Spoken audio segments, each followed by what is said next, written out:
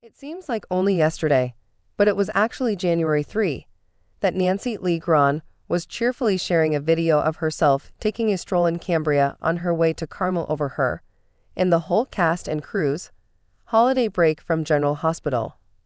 But just two days later, drat. Things took a turn for the unfortunate. It finally got me, tweeted the Emmy winner. She was starting the new year off on a low note, having contracted COVID. Guess I'll be staying in Carmel, locked in a room for the next few days. At least with the soap on break. Huron shouldn't have to miss any days of work, so Alexis shouldn't have to be recast again.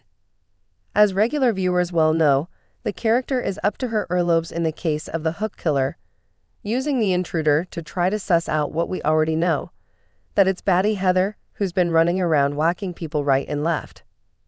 Rip, Brando, Rory, Britt.